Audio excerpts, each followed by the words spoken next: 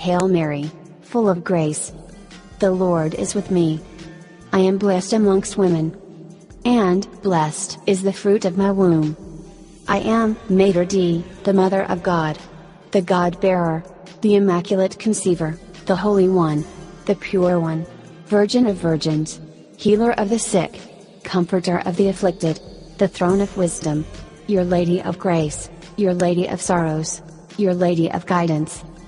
MOM, Mother of Mercy, the New Eve, she who is the cause of great joy, the Star of the Sea, the Gate of Heaven, the Queen of Heaven, the Black Madonna. I am the Blessed Mother Mary.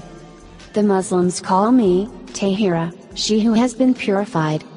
As a female high priestess in the order of Melchizedek, I am known as, Sadiqa, in Arabic, and, Zadika, in Hebrew, meaning, she who is righteous and confirms the truth.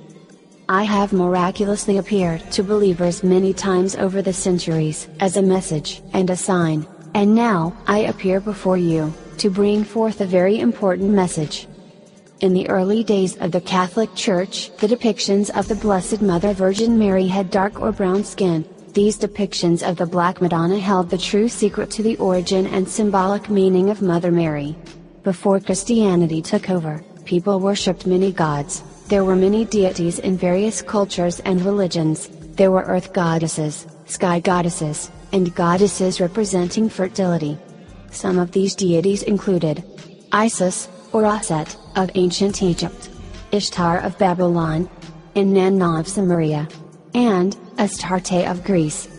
When Christianity took over, the symbolism related to all of these ancient goddesses were consolidated into the symbol of the Holy Mother Mary.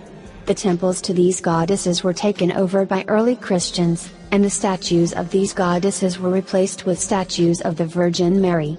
So, people often cite these goddesses as the origin of Mother Mary in Christianity, but that is only part of the story. See, a key characteristic in the symbolism of the Black Madonna, is the fact that Mary originally had dark or brown skin. In agricultural goddesses, this brown skin represented the fertile earth, which gave birth to nourishing and life-giving foods for sustenance.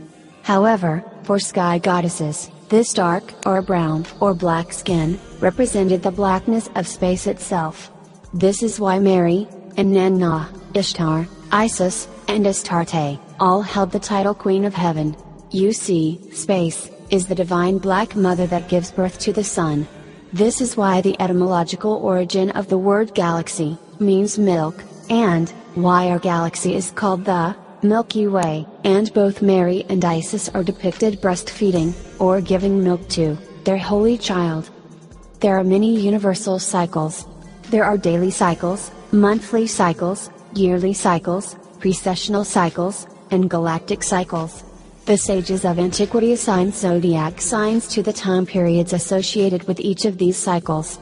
In the yearly zodiac, there are about 30 days for each zodiac sign.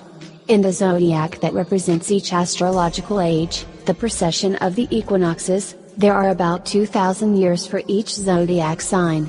In the zodiac that represents each astrological era, the galactic cycles, there are about 3 million years for each zodiac sign. Where you are in space right now is, you have crossed over from the age of Pisces, to the age of Aquarius, on the precessional cycle.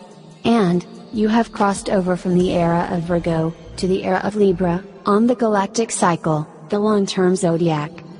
For the past 3 million years, you have been in the era of Virgo. Virgo represents the Virgin, who is represented by Mary, or Isis. And, the past era indeed did give birth to the Savior and religion. The next 3 million years will be the era of Libra, represented by the Lady of Justice, or Ma'at, holding scales and this era will indeed give birth to balance, justice, and liberation. I will pray for you sinners, now, and at the hour of your death. Amen.